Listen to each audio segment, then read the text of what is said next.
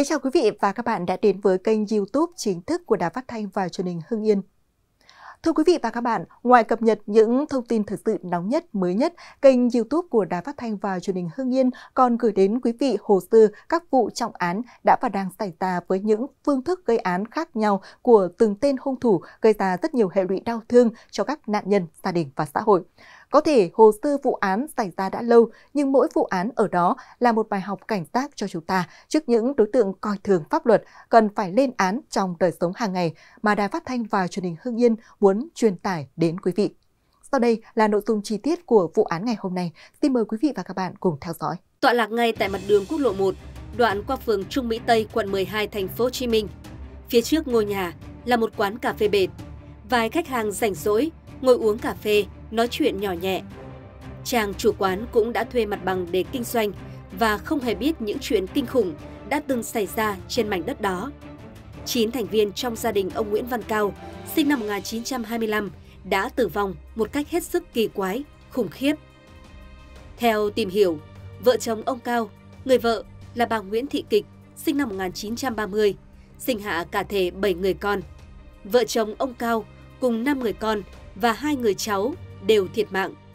Chỉ có người con cả và người con gái, thường được gọi là dì Tư, thoát khỏi tai nạn. Trên thực tế, vụ án xảy ra đã nhiều năm, nhưng dư luận vẫn còn nhiều thắc mắc, hoài nghi, các luồng tin theo dệt về vụ án này đến nay vẫn còn tiếp diễn. Chính các thành viên còn lại trong gia đình ông Cao tâm sự, họ vẫn không thể hiểu nổi vì sao chín người trong gia đình mình lại ra đi như vậy.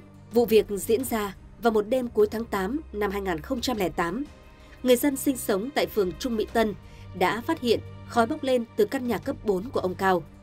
Ngôi nhà chỉ rộng chừng 50 mét vuông nhưng được xây trên mảnh đất 3.000 mét vuông.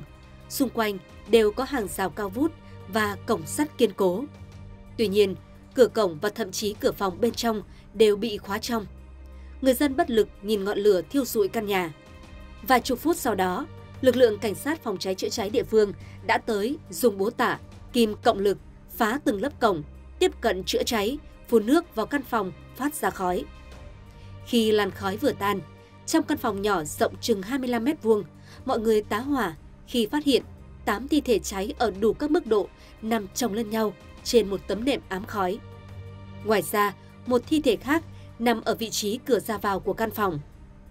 Qua khám nghiệm, cơ quan chức năng nhận thấy căn nhà từ trên mái đổ xuống đều không có chỗ nào thoát ra được. Vì vậy, khả năng có thủ phạm vào nhà sát hại bị loại trừ. Trong căn phòng 9 người tử vong, lực lượng chức năng cũng xác định các nạn nhân, nhất là những nạn nhân nam, không có dấu hiệu của sự kháng cự. Bên cạnh đó, trong phòng toàn mùi xăng bốc lên. Các nạn nhân đều được xác định là có dấu hiệu nhịn ăn vài ngày trước đó. Đặc biệt, hai người con của ông Cao là Nguyễn Ngọc Tê và Nguyễn Thị N có vết buộc dây ở tay. Ngoài ra Nguyễn Ngọc Tê còn có vết buộc dây ở chân phải. Ông NVT sinh sống gần hiện trường vụ thảm án kể lại, tình hình lúc đó rất rối ren. Còi xe cứu hỏa, xe cứu thương hú dần dần, người ta bê ra lần lượt 9 thi thể, cái nào cũng cháy đen, nghe nói, cháy đến mức không nhận ra ai với ai cả. Mùi thi thể cháy khét lẹt, mấy chục ngày sau vẫn còn người thấy. Ban đầu, người ta đoán giả đoán non rằng có kẻ sát hại cả nhà ông Cao để cướp của, vì có vẻ như ông cũng lắm tiền.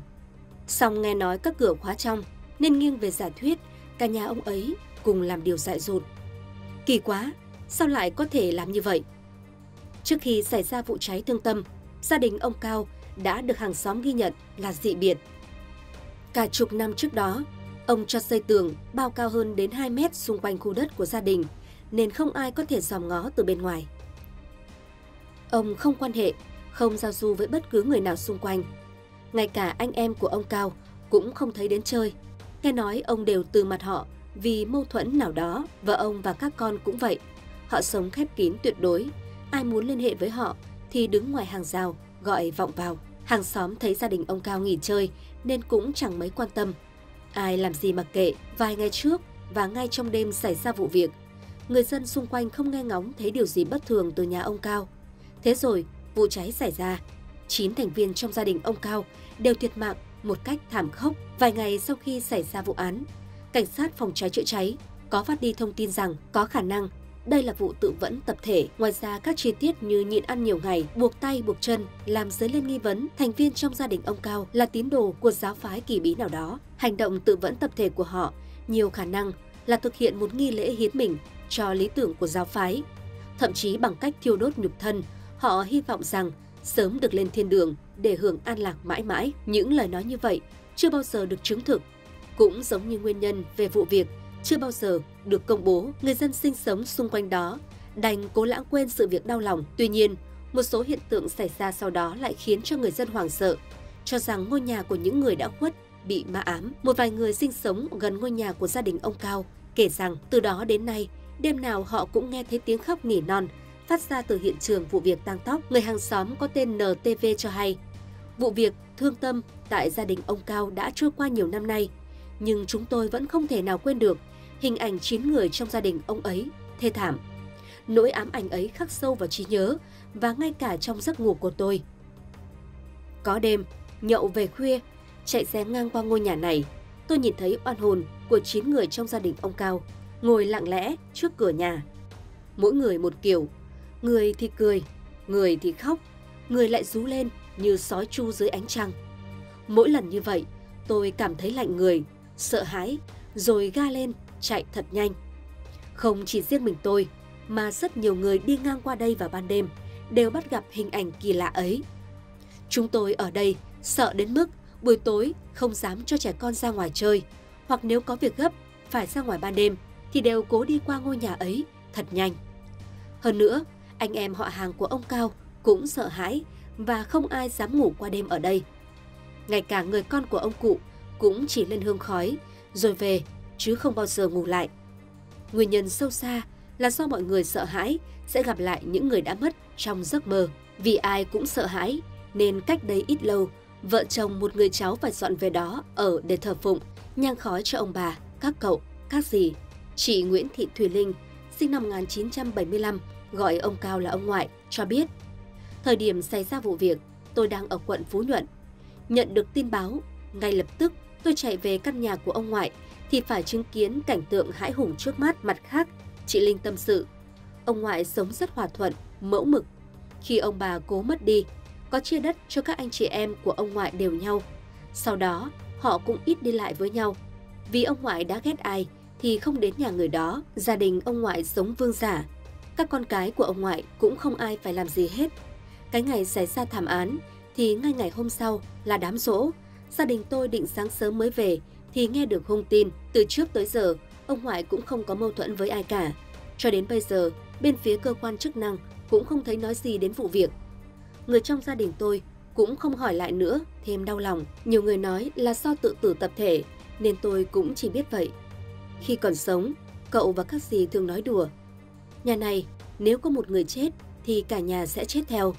Câu nói đó đến bao giờ mới nhận được câu giải thích thì không ai có thể biết được. Còn theo dì Tư, người con gái may mắn thoát nạn kể, đã có nhiều đồn đại về căn nhà, nhưng thực tế đó chỉ là những lời thêu dệt. Không chỉ vậy, lợi dụng những lời bàn tán ấy, không ít cò đất đã tìm đến nhà và khuyên chúng tôi nên bán khu đất này vì khó mà làm ăn yên ổn được. Tuy nhiên, chúng tôi một mực không chịu bán vì đây là đất của ông bà để lại nên sửa sang để hương khói cho mọi người. Điều đáng nói là từ lúc ở đây đến giờ, chúng tôi vẫn sinh sống bình thường và không hề bắt gặp những tiếng khóc hình ảnh hồn ma giống như mọi người bàn tán. Có đợt, ngay cả những người làm nhà cho tôi, họ cũng không dám ngủ lại coi công trình vì sợ có ma.